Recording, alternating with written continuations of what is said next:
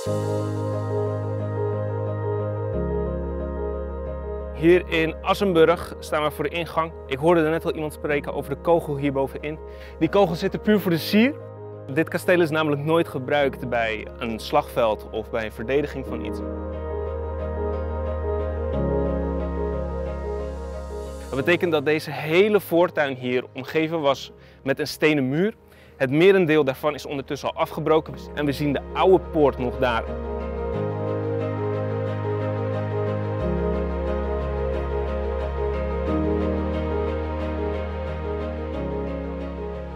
We zien hier een aantal verschillende torens aan de verschillende kleuren stenen. Zie je dat er op verschillende momenten aan dit kasteel gewerkt is. Onderin kunt u nog precies zien waar de riolering in uitkwam. Die wordt vaak schoongemaakt omdat de eenden daar vaak een nest in maken.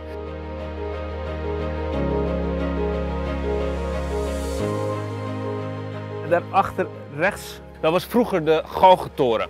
En bovenop de helft van die toren stond vroeger een galg. Die galg diende ertoe voor iedereen die langs dit kasteel reed, dat iedereen kon zien dat de heer van dit kasteel het recht had om recht te spreken. Daarbovenin zie je een raam met tralies. Dat is de oude gevangenis. Je zat er maximaal drie dagen in afwachting van jouw vonnis. Meestal was dat inderdaad de doodstraf, maar kon ook iets milder zijn als in afhakken van handen of afhakken van het oor.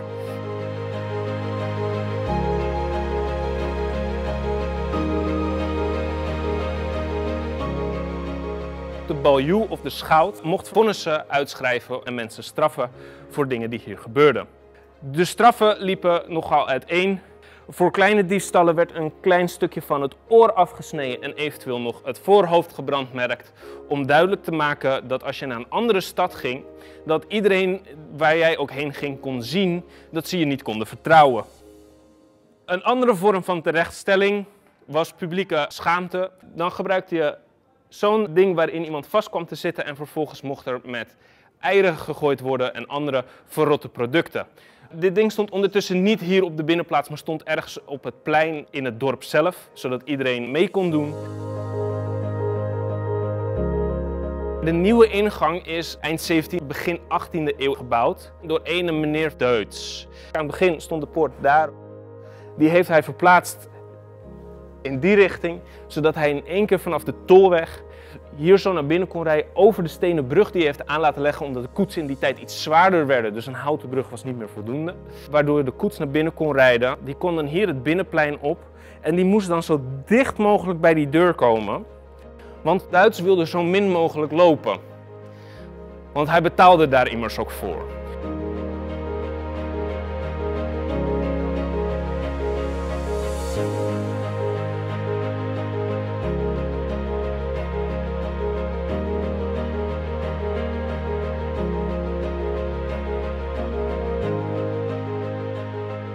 We staan hier momenteel in de Ridderstouw en was de enige plek in het kasteel met een open haard. Dus dit was de enige plek waar zeg maar, voor warmte ook gestookt werd.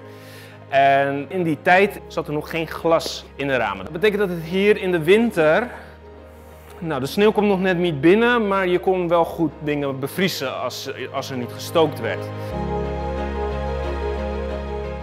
Die heeft ook deze hele mooie schaal want dat is een replica. De officiële kunt u vinden in maquette. Uh, want die is echt een heel stuk mooier. Uh, en ondertussen heeft, uh, staat er meer mooie spullen op maquette die hier niet meer staan, maar wel origineel van dit kasteel waren.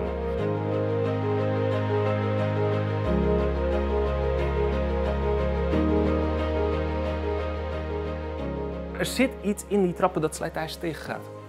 Spijkers. Bovenaan de treden vinden we spijkers en die zijn nodig om de slijtage tegen te gaan. Aangezien de meeste mensen de neiging hebben om hun voet te laten glijden, om te zorgen dat je niet van de trap afvalt. Dus vandaar dat er heel veel slijtage is, vooral aan de bovenste treden.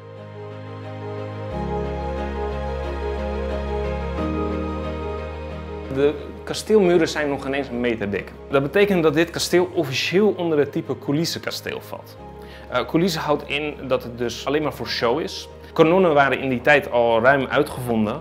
Dus om nou ontzettend veel geld in een kasteel te stoppen dat jaren duurt om te bouwen, maar misschien maar een week duurt om compleet te vernietigen, was een beetje verspilling. Dus in die tijd, halverwege de 14e eeuw, begin 15e eeuw, zien we steeds meer alleen maar van dit soort coulissenkastelen staan met dunne muren. Die eigenlijk gewoon alleen maar als sterkte dienen voor lokale boeven en bandieten, maar niet voor echt veldslagen.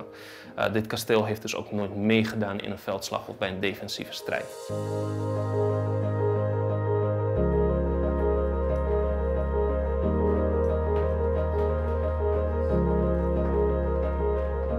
We staan hier in de huidige feestzaal. Die wordt ondertussen gebruikt voor uh, feestjes en andere dingen, maar het was vroeger niet een feestzaal. Uh, dit was vroeger namelijk de oude kapel. Maar als er hier een samenkomst was van belangrijke mensen, dan hadden die vrouwen in uh, 15, 1600 ja, hadden nog niks te vertellen. Dus de vrouwen die werden daar in een kamertje gestopt, die konden daar lekker en een beetje kletsen. En de belangrijke zaken werden door de mannen in die kamer besproken. En gezamenlijk zaten ze hier soms wel om bij elkaar te zijn of kerkelijke diensten te voltrekken. De oude ingang vinden wij precies hieronder. Daar hangt ook nog een bel, de bedelbel. Er was namelijk een keer een hongersperiode hier in Heemskerk. Mensen hadden te weinig te eten. En op een dag besloot een van de vrouwen met haar 16 kinderen bij slot Assenburg aan te bellen en te vragen of de vrouw van het kasteel zo vrij wilde zijn en zo uh, christelijk wilde zijn om wat voedsel aan de armen, uh, een, een aalmoes te geven aan de armen. Uiteindelijk besloot de vrouw inderdaad van wat eten dat over was die avond te geven aan de moeder met haar kinderen. Dat ging als een lopend vuurtje door het hele dorp heen. En op een gegeven moment stonden alle bedelaars aan te bellen met de bel bij de voordeur. Dus vandaar dat hij de bijnaam heeft gekregen, de bedelbel.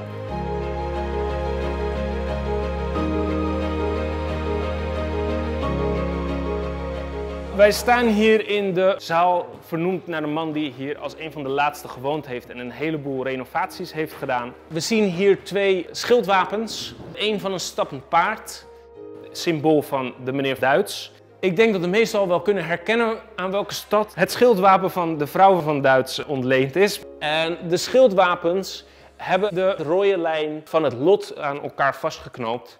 En dat is dus een symbool, de familie van Duits en de familie van zijn vrouw voortaan door het lot samen gebonden zijn.